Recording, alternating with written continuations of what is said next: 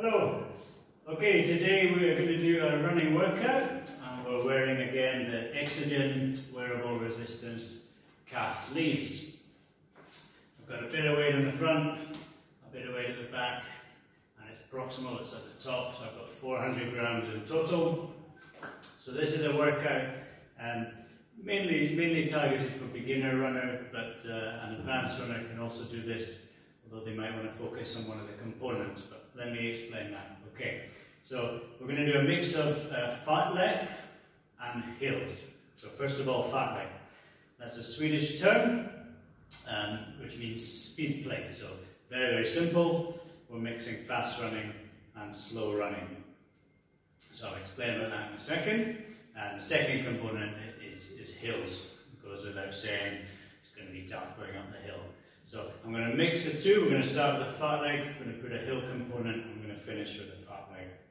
But an elite runner, advanced runner, probably would only do the fartlek alone for a longer period or the hill workout alone for a longer period. Okay, very important you warm up first, which means 5 to 10 minute easy jog, super slow, just getting the blood flowing, and then a good uh, set of dynamic stretching, so a good set of drills, sort of 10 minutes of those drills. So you want to be doing jog first and then the drills, then you're ready to go. Okay, let's get up to the treadmill and I'll show you exactly what we're going to do. Let's do it.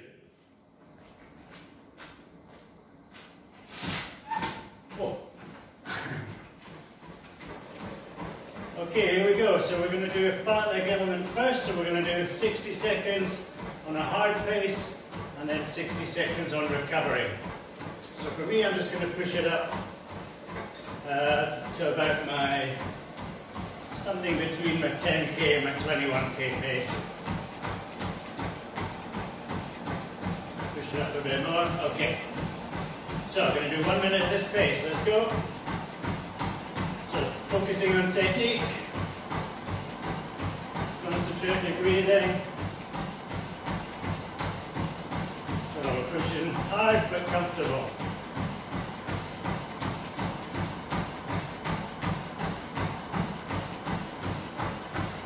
So after 60 seconds, we bring it down. Now this can either be a walk or just really slow jog. It should feel uncomfortably slow. You're letting your heart rate come down.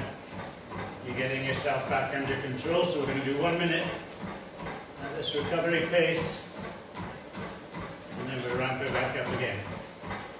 So by mixing the paces, we're just working the heart up and down. Getting ourselves more and more fatigued.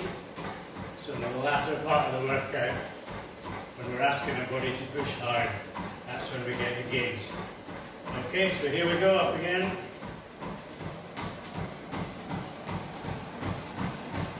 So one minute hard. So we're going to do six minutes in total. One minute hard, one minute easy, times three do one minute rest, and we're going to repeat that. So that's a 12 minute segment.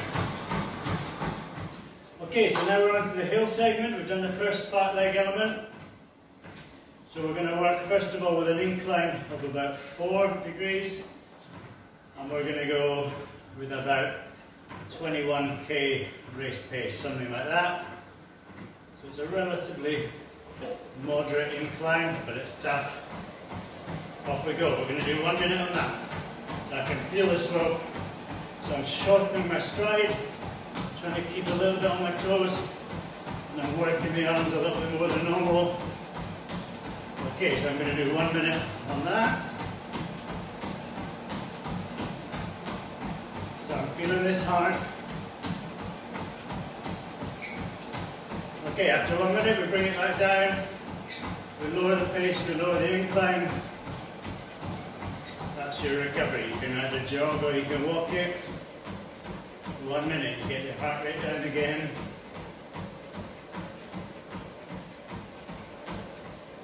Okay, after that we're going up to 8 degrees in the incline. For my treadmill, this is almost at the top. So this is going to be tough. Okay, push it up. Same pace as before, so this one's going to hurt.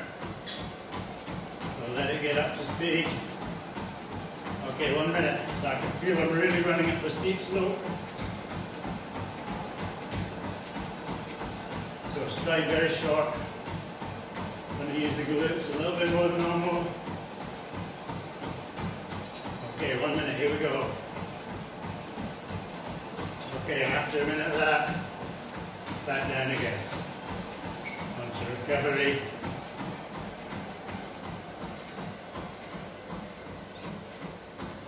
So we're going to do the two different inclines, so that's four minutes in total.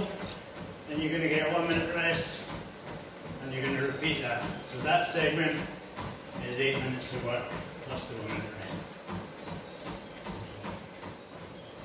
So the final little bit of fartlek is just to capitalise on the work you put in. You're tired, now we're going to push it. We're going to do three sets, 60 seconds hard, 60 seconds recovery. And I want you to push the pace as hard as you can. So we're really going to put this up. Let it get up to speed.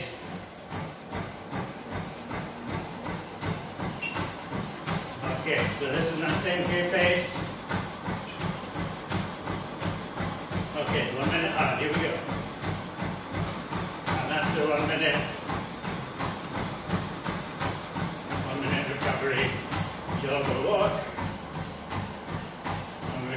times three. So that one is only a six minute segment. We're tired. But really important you hit your paces, you concentrate on your technique. So that's fartlek, hills, fartlek, nice little workout for beginners. You can do it inside on a treadmill or you can do it outside of course. If you're doing it outside with a hill, instead of the jog walk, you're just going slowly back down the hill and then you go up on your next time period. Well done. Okay, well done everyone. Good job. Nice one. Okay, you're not quite done yet. Once you've done the workout, you still need to sort of cool off a bit. Um, so what I recommend, five to 10 minutes easy jog, depending how tired you are. We're just letting the blood flow around a bit, just heal some of the damage that you've done. And then you're going to be doing some static stretching, so just loosening off muscles that you've worked. And then last thing, the easy part, rehydrate, refuel. Great job everyone.